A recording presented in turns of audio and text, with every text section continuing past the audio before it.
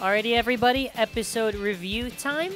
So we're gonna be going over Greatest Raphael, uh, breaking down everything new and everything you need to know about this episode. First of all, we get a new opening segment when they do the whole "Welcome to the World of Beyblade." We see Rashad posing very menacingly. If you notice, Ilya is actually still around, but Sarah, for some reason, just permanently has that purple Bahamut, never really explained marketing. There you go. Uh, very beautiful visuals in this, like very well animated. The new opening is probably, I would say, the best animated Beyblade opening. Very good storyboarding and transition. It starts off where it's at the castle. You see a little bit of speed lines, very nice transitions with smears and everything. A little bit basic with the, the moon shot there, but then after it transitions to dangerous. And you're going to notice that Basara has actually left the main group and he joins Rashad and Ilya. Content, I guess. So you see Louis, Shu, Free, and Wakiya. If Wakiya doesn't have a Dynamite release in this season, which I'm, if he does, he does. If he doesn't, he doesn't. I'm, it's just gonna feel really weird that he was just there but didn't have a bay or didn't really do much. Like, I guess he did host the Sky tournament thing, but I don't know. It was really weird. Uh, then after there is the other side characters that are there. And Bell does a little bit of a troll. And we are introduced to the new big three in this one. Uh, well, okay. I'm dubbing it the new big three. It is Rashad, Ilya, and Basara. And against them is Ranzo, Bell, and Volt. So I do hope we see more of Louis, Free, and Shu. I hope they're not just on the sidelines or whatever. We see uh, Bahamut clashing, beautiful shot of the Avatar, very nice actual effects with the eye trails when he's moving in motion, and an amazingly drawn shot visually of Bell with his new Avatar. Beautiful visuals. It challenge it uh, clashes against Magma Ifrit, which, by the way, that's the Sequex disc, uh, Hasbro Bay. Uh, just to mention that, and it bursts it. And a really nice shot uh, where it focuses on all the bladers. So it first goes to Ilya with her putting on her helmet. Stunning visuals. Like, I'm just breaking down the OP. Basara looks pretty cool. And if you're going to notice, um, Greatest Raphael, when it's spinning, actually has a little bit of a halo on top, which I find very funny. That's going to be fun to edit for a video thumbnail for review. He's going up against Volt, and that's going to be the clash. And at the end, he has a fire in his hand, and it's, it is Greatest Raphael. And then after expands the wings.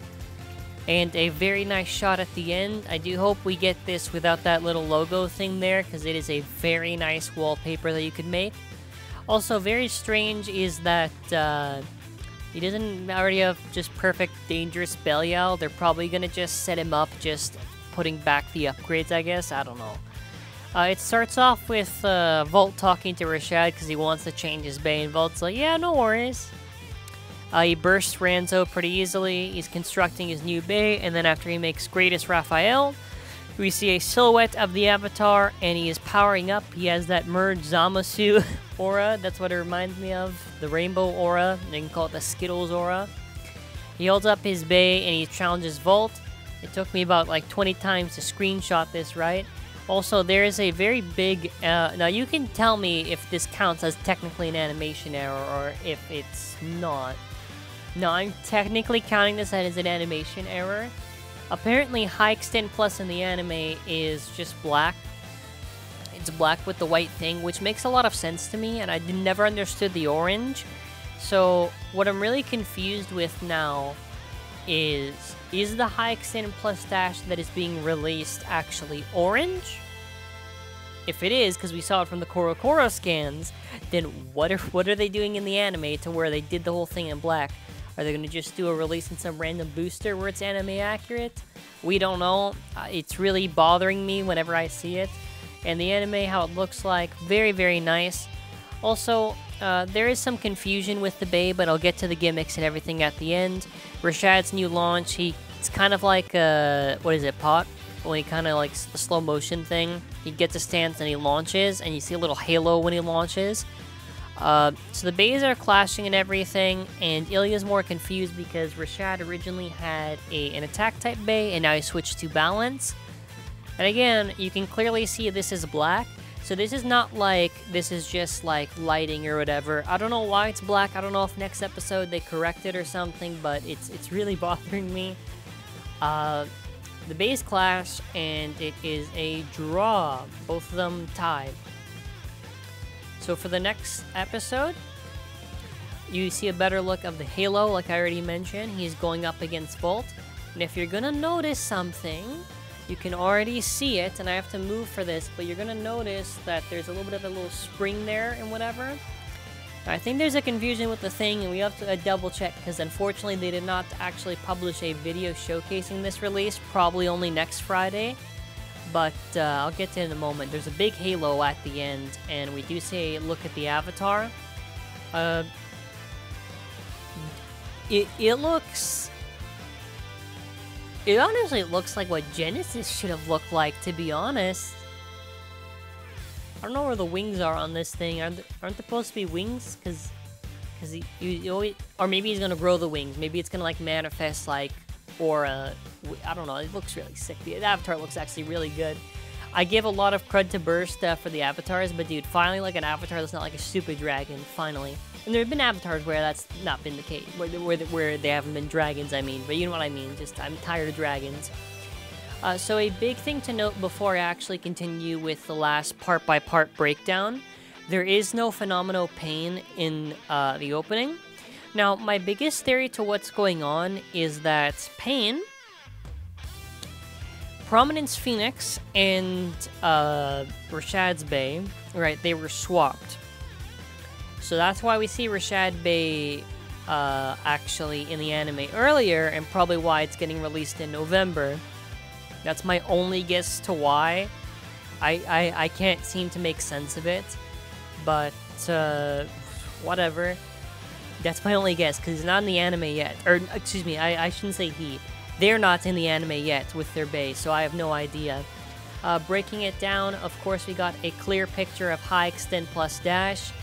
Uh, TT fix the animation error where it's black, or just release a black version of High Xtend Plus Dash. Uh, the description is pretty simple. If you don't know, there's a stamina, defense, and attack mode. Uh, and obviously it's a dash, and it's tall. Uh, this could potentially be good. Uh, I'm not getting my hopes up too crazy. There's a lot of drivers that could probably do better than it. I do think we'll probably see combos that can use it, but I'm not nothing crazy. Next up, we get uh, the big controversy, right? this one. Oh, first of all, yeah, this is a thing just explaining it, but uh, yeah, there is no lone high mode with this thing if you're wondering. I uh, just wanted to get that out of the way. Okay, when it talks about it, uh, you can the the Archangel Raphael motif, the DB core and armor blade are integrated, and the overdrive system is activated when shooting strongly. So a lot of people, friends, you know, ask, you know, hey, what what, what is the overdrive system? Essentially what the system is, is like the Cho-Z Awakening. You do a hard launch, and then after we'll activate that specific gimmick. In the case of this, once you do a strong shoot, as your rotation gets weaker and weaker, the armor will jump up and it will change in the built-in metal parts will move, its stamina increases, whatever. A balance type right-handed layer, right-handed, right spin, sorry, that transforms from an attack so defense mode's what it is so attack mode's what's normally and then after it goes into defense mode so it has 8 blades in defense mode inner gravity 0 blades also it activates a metal burst lock so if you're gonna notice right if you're gonna actually notice you can actually even see it on that actual render but I think of what it's referring to, and you can kind of see those things poking out if you look carefully. I didn't want to zoom in because it's going to be very hard to see. But there is little metal stoppers there from what it looks like. So when it's saying metal lock, I do not think that it is referring to a literal sense of metal teeth. What I think it's referring to is that there is a metal burst stopper, which would make a lot of sense. And I, is there the anime render I can just look at for a second? Okay. Yeah, you can also kind of see it there. You can see kind of like peeking out there. That's what I think it is. So, because listen, it doesn't make any sense. Okay, you got to think about this logically when you're reading the description, okay? it doesn't make any sense that it also activates a metal burst lock. Why would, do you not think they would say, oh, by the way, there's metal teeth? But uh, speaking of which, uh, on our shop, we have a pre-order for this release. Yeah, shameless plug. Uh, if you're able to check out our shop and if you're able to pre-order, I greatly appreciate it. If you don't want to or you can't, that's perfectly fine. Just support the channel regardless by clicking like and commenting. So that'll be it for now. And uh, yeah, bye.